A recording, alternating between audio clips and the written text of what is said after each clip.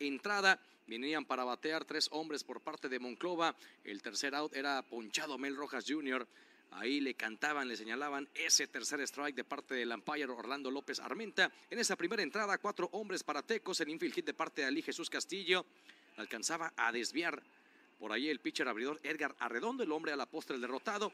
Mientras que ahí estaba Mel Rojas Jr., el ladrón, diría la canción, le robaba el cuadrangular, no así la producción para Franklin Barreto. Esa jugada de la polémica donde se señalaba que pues llegaba el out antes que la carrera después de la revisión, pues la carrera llegó antes que el out y posteriormente se iba eh, ponchado, no, expulsado del juego el manager Edwin Rodríguez. Después de un out conectaba sencillo Leandro Castro el jardín central, se ponchaba eh, Wendel Rijo, el doblete al central por parte del receptor zurdo para batear Logan Moore ponía las cosas una por una en el marcador. Sin embargo, Tecos, después de un out en la cuenta de una y nada, Luis Jiménez respondía con el cuadrangular solitario para que Tecos volviera a tomar la ventaja. Ventaja que ya no iba a soltar el equipo de la frontera, el cuadrangular número 7 de la campaña. Ahí Luis Jiménez llegaba a 29 producidas después de dos outs. Francisco Arcia conectaba doblete al jardín derecho. Enseguida, en la cuenta de 0 y 1, Alonso Harris conectaba su primer extra base de la jornada. Doblete al izquierdo, carrera producida para él, 19 de la campaña.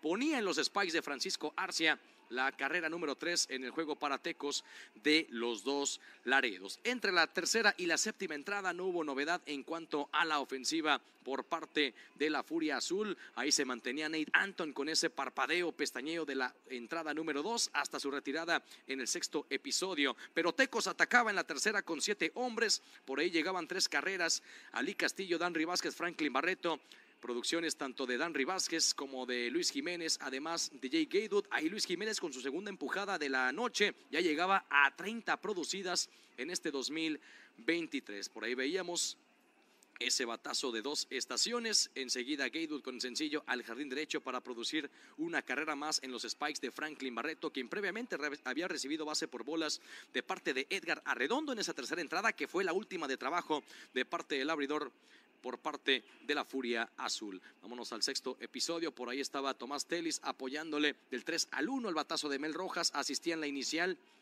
a Nate Anton. Después Renato Núñez con rola al campo corto, rola la tercera de parte de Leandro Castro. ¿Qué pasaba en esa sexta entrada?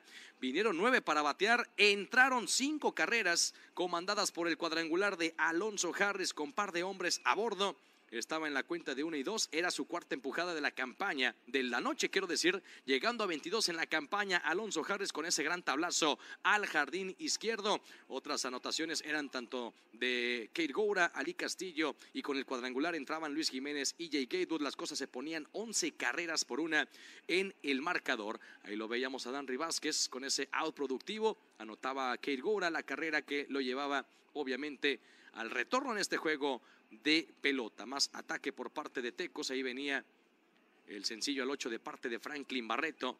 Producida además eh, para él. La segunda, serían ocho ya en la campaña. que pasaba en el ataque para Tecos, el doblete al jardín derecho para Monclova, en el, ataque en el jardín derecho en la octava entrada. Llegaba el debut de Edgar López como teco de los Dolaredos, la base por bolas para Juan Pérez, el ponche para Aldo Núñez, después llegaba Renato Núñez con sencillo al izquierdo, doblete al mismo sector para Leandro Castro, ambos empujaban. Y después llegaba Ricardo Chapo Garza para con dos hombres en posición de anotar conseguir los dos outs que faltaban, par de ponches sobre Wendel Rijo y Gilberto Galavis. Ahí lo veíamos la primera víctima y ahí llegaba también la segunda, el de los Mochis Sinalúa.